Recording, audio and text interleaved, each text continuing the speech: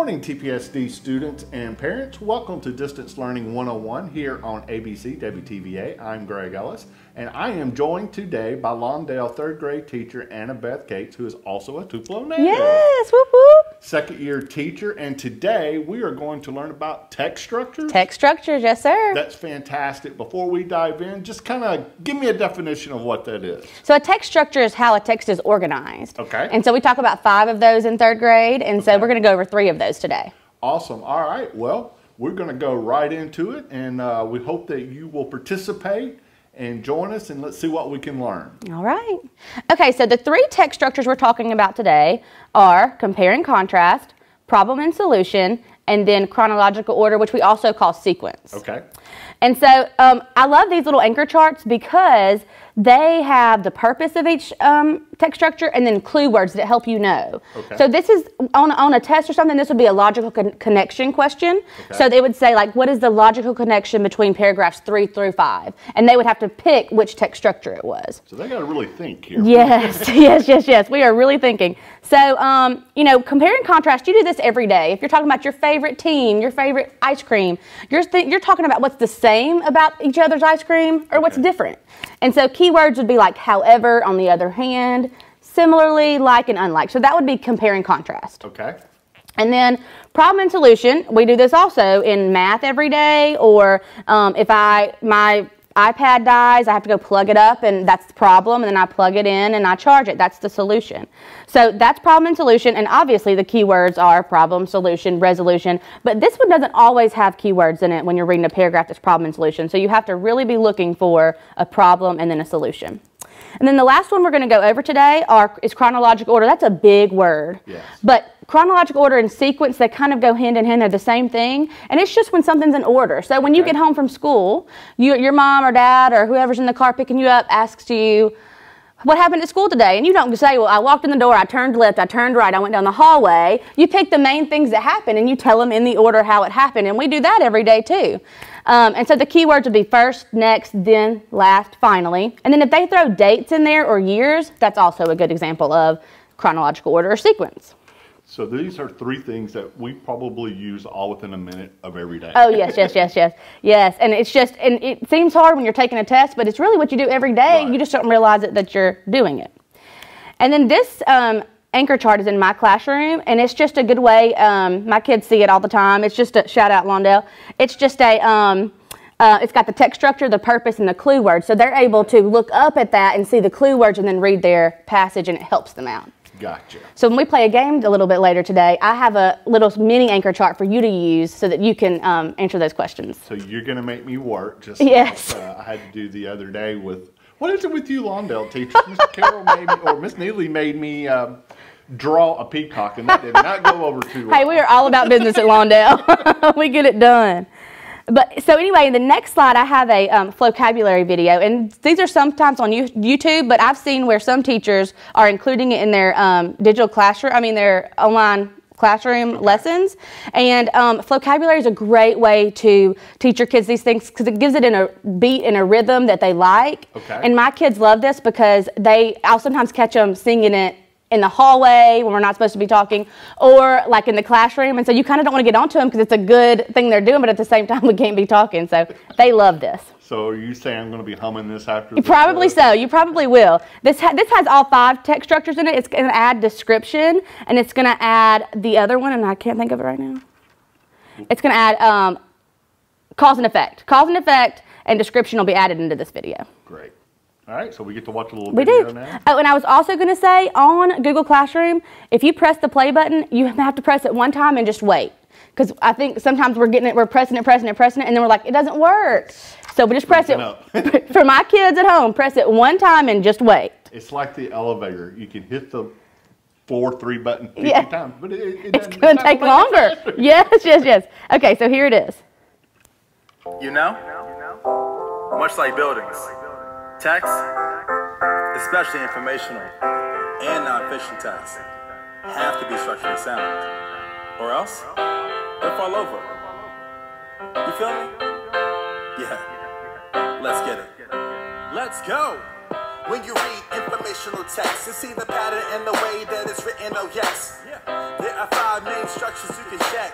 This is now two episodes in a row. We've had rap. Miss Hamilton at, uh, I love at it. Rankin had it as well. She I was singing it. along, so feel free. If you I won't. I won't put y'all subject to that at all. The topic and its character. These people get paid the money to do that. there you go. For example, and details and adjectives like in this sample. The famous Leaning Tower of Pisa is located in Italy. Mamma mia! It stands over 180 feet tall. You're Tilts causing your students like to listen to this and the That's effect that they're probably paying more attention. Yes, that's right. Look at you. In your mind. Now peep this. So you're learning quick. Exactly.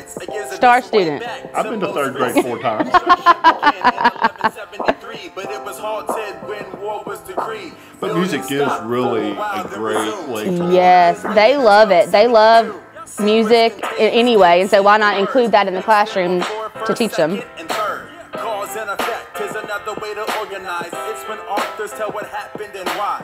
Soft soil made the tower settle unevenly. As a result, it leans increasingly. Builders tried to balance it with more floors, but due to extra weight, it leans even more.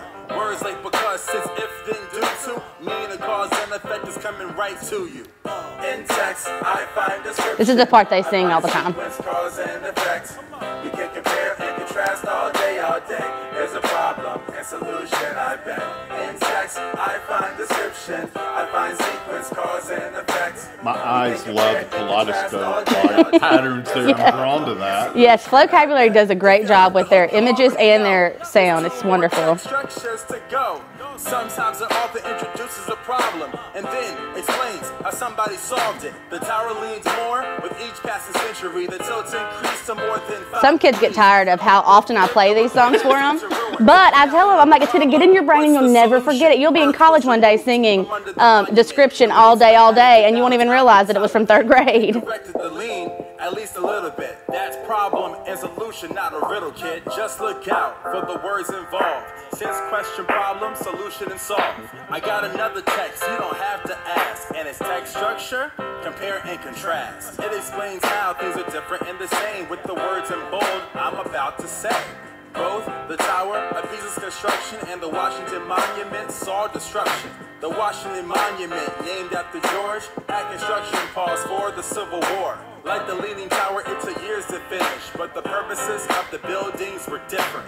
One was erected as a church bell's tower, while the other honored a founding. So it's showing those keywords that help you know that it's Two compare and different towers, contrast. That's five text structures in a sixteenth of an hour. In text, I find description. I find sequence, cause, and effect. We can compare and contrast all day, all day. There's a problem and solution, I bet. In text, I find description. I find sequence, cause, and effect.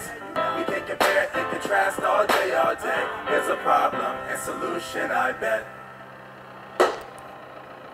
So we use that what we just learned about to to answer questions in passages. That's awesome.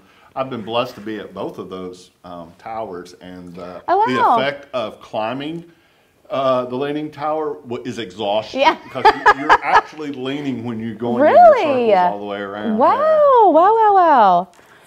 Um, so we're going to put what we just learned about in all three of these anchor charts, and then this one that kind of helped you, and then our video to answer some questions from a text. Okay. Now, for time's sake, I'm not going to read all this to you, but I'll point this out to you. When you are um, answering questions about logical connection and you know that it's text structure, you're going to look at things like the, the title. So if I look at the title right now, it's talking about butterflies and moths. Okay. So I know, well, this is two things that they're that they're probably going to talk about in the passage. So it's maybe compare and contrast, but I'm not sure. And we always have to read the whole passage. But Miss Case isn't going to do that right now for time. But let's read the introduction. It says both butterflies and moths have a four-stage life cycle: egg, larva, which is a caterpillar, pupa, and adult. So I know it's still talking about both of those things, but I want to. I want, I want to show you. I want to skip down to the third paragraph. Okay. Now, in um, third grade ELA at Lawndale, we number our paragraphs, and I think everywhere does, but we number our paragraphs so that we can find our text-based evidence. And so um, we're going to look at the third paragraph, and it starts with "on the other hand." Now, if I go back to the compare and contrast, That was one of your words. that was one of the keywords. On the other hand, and so if I'm reading it, I realize, on the other hand, most moth caterpillars don't form a chrysalis. Instead, they spin a protective case of silk threads around themselves. So if I was just using the keywords and the title, I would know that this was Compare and Compare and contrast. Very good. Now I want you to read the whole par- the whole passage, but for time's sake, we're gonna do this. And then on your um, Google Classroom on the slides, when you have to just enter your um, answer, just erase what's in that box and type in. And I wrote up here a word bank, and so um, you would just type in compare and contrast.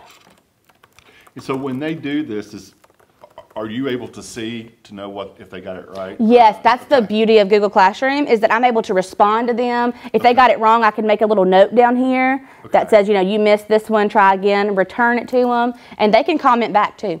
What type of interaction are you getting with your students? Are they responding well? Uh, Have you seen? It's, obviously, it's not like the classroom, Right. But considering the circumstances, are you pleased with the interaction you're getting with your students and parents? Yes, they are doing a great job. Um, it's a learning curve for all of us. Right. But um, they um, they are they're doing a great job. Some of them are really excelling. Great, great. Okay, well, we're going to take a quick break, and when we come back, we're going to dive into what? We're gonna play a little game. Oh boy, we're going to play a little. We're gonna see your basketball skills. There you go. All right, we'll be right back. This is Distance Learning 101.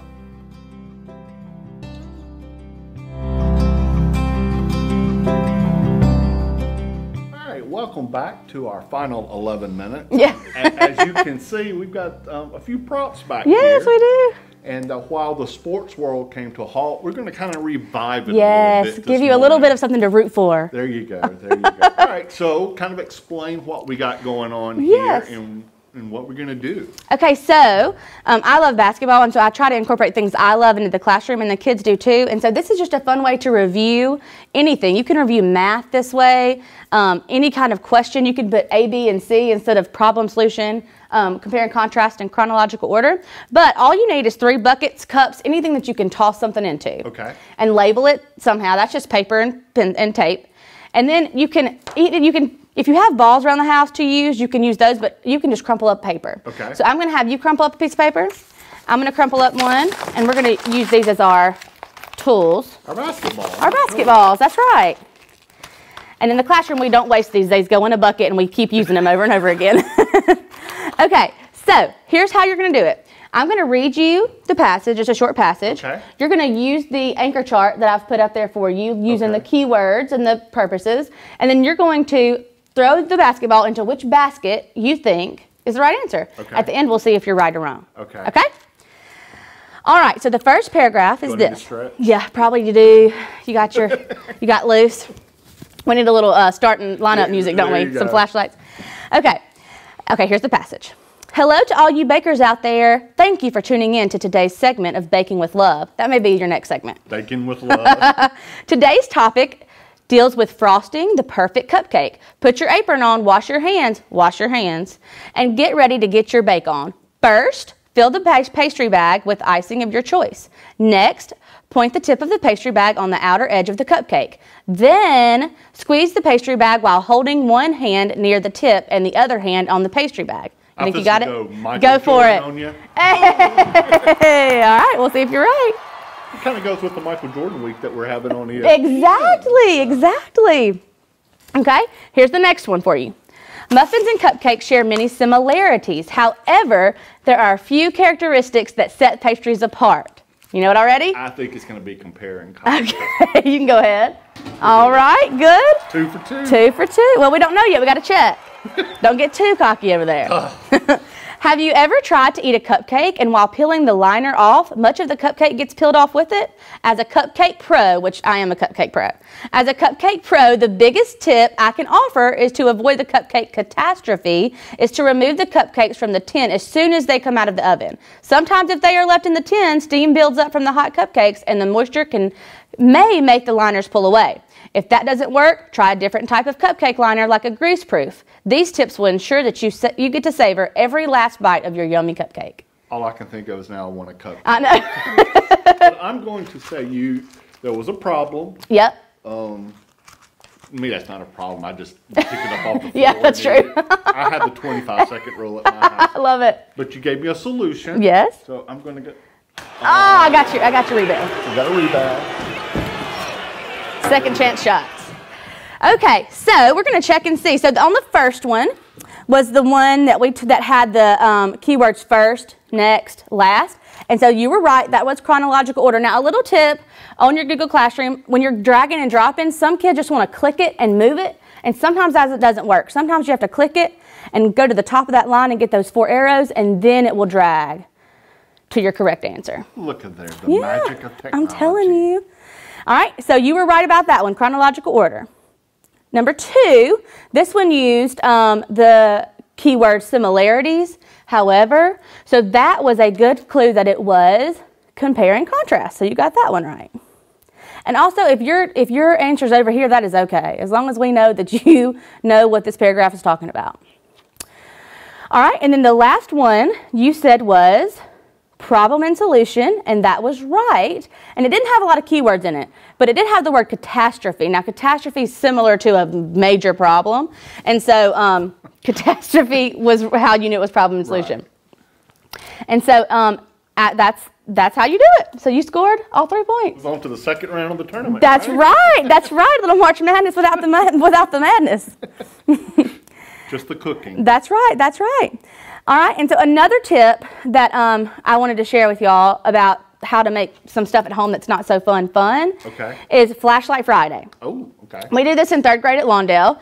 And um, Kathy Palmer, actually, shout out Kathy Palmer, actually shared this with me last year. Okay. And we used it last year and they loved it, so we used it again this year.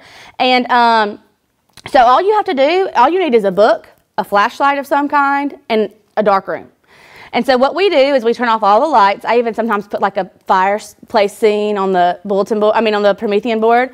And we will, I'm sorry, the Newline boards. And we will um, read like this. So we turn off all the lights. You get each, each child gets a flashlight in their book, and they read by flashlight. Cool. And so there's thus Flashlight Friday. Thus Flashlight Friday.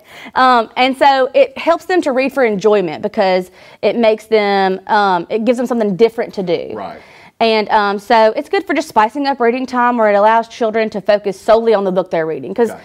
there's so many distractions this day and age. There are, and again, it, doing the same thing over and over sometimes can get boring for mm-hmm. them. So anything that's different from them, it's going to grab their attention yes. pretty quick. Yes, yes, yes. And so it's just plain fun. And then here's just some pictures of the kids in my room doing Flashlight Friday. All right, we'll give your kids a shout out. Who we okay, got? we got in the chair over here. We got Jamarcus Shaw. He has shown so much so much growth this year, by the way. Way to go, Jamarcus. That's right, Jamarcus. And then Brooklyn over here, she is reading and she's doing a phenomenal job. She's a really good helper. And then Kennedy's in the middle, and she um, she is also a very good helper and has shown tremendous growth growth this year. And then this down here, um, I think I can't tell. I think that is um, I can't really tell because it's the back of somebody's head. Gotcha. Well, if you don't know, then I'm sorry. Yeah. I'll be able to help you there. I think I just went around there and snapping, and I don't remember who was sitting right there that day. But they um, they love it. They beg for it, and sometimes we can't do it, and they're like, "Miss Kate, we really want to do Flashlight Friday," and so it's really good to keep them motivated to get done with their work. All right, parents, you've been challenged. That's right. Um, you don't have to do it on Friday, but since yeah. today's going to be Friday, that's true. Not? Go ahead and do it exactly. And they can use anything. They can. They some of them do homework by it. Okay. I have some parents who will, when they're tired of homework, uh-huh. they'll do flashlight homework, and it's fun. Well, let's do this. Let's have our parents. Let's have your kids do this. Take pictures of them. Yes. And hashtag it Flashlight Friday. Flashlight Friday, exactly. I think that'd be great. We would love to see we'll them. Retweet it. yes. See how it goes. I, and especially Miss Kate's kids, you know you need to be doing that. Exactly. Hashtag Flashlight Friday. That's your big assignment. That's that's your assignment for today. Flashlight Friday. All right. So from here, um, and, and they can actually while they're reading, they can kind of do your, yes. your structures at the same yes. time. Yes, and this activity, like I said, can be done with anything. You can do it with, um, what we've also done with this is I've put A, B, and C instead of like the text structures. Okay. And when they answer a multiple, uh, multiple choice question, they will, I'll come over to their team and they'll decide together and then they will toss their answer into A, B, or C, whichever gotcha. one's right. And they, they love that too. Well, we only have a few minutes left, so okay. I want to talk a little bit about from your standpoint as a, unless you have another assignment from your standpoint as a teacher how important is to have parent involvement right now since there is no sh- no real structure. structure right. at, at, home without the classroom? Yes. Oh it's so important. And um, i'm so thankful for the parents that we have at lawndale. They are really on top of it and you know they're very good about um, sending me questions, and I love to be able to answer those for them because we're here for them. Right. That's what we're here for because they're doing something totally new. And unless you're a teacher, you kind of are like, what? You know what to do? And even some teachers that have to do it. So it's very good that they're able to, and I love that they're able to comment on their their um, Google Classroom and ask me questions when they need it. It's really good to see that and to see that the parents are working so hard. They are working so hard, and it's no, you're not going to be perfect, and we don't expect you to be perfect. They're not perfect when they're at school either. I mean, it's No, learning. No, no, no, no, no. And so y'all are doing a great job. I know that you don't feel it sometimes, but parents, you are doing a phenomenal job at doing these things. So let me ask you. Let me ask you this question: um, Are you finding that you have some students who maybe aren't as interactive in the classroom that kind of come out of their shell? Yes, especially I had a Google Meet with the kids the other day. We had a scavenger hunt on our Google Meet, and some of the kids that really don't talk out in class Uh-huh. were like almost yelling at me, and I was like, "Oh oh my goodness, you have a voice that's outside of a speaking voice." That's And so it is really good to see them flourish in this, and they actually will also comment back things to me, and, and I'm learning more about some of them on Google Classroom with their writing than I knew about them in the classroom. So it's really been good. Well, awesome. Well, Ms. Cates, thank you for your dedication to your Yes. students, coming up with creative ways to keep them entertained. And this is a difficult time It is. for everybody, but everybody seems to have been embracing this distance Yes. learning concept. Yes, I think so, and I think that that we've we've all just had to buckle down and realize we've just got to figure it out. And so I think and Tupelo has done a phenomenal job at preparing us and helping us with things that we need and being there for us for technical support, emotional support. And little did you know how you were going to need all this four months ago. that is true, true, true. All righty. Well, thank you so much Thank for joining you. us Thank and you, playing some basketball. That's us. That was a lot of fun. Good, good, good, good. All right. Well, thank you again. Thank you. And uh, for ABC, WTVA, and the Tupelo Public School District, I'm Greg Ellis. Have a great day.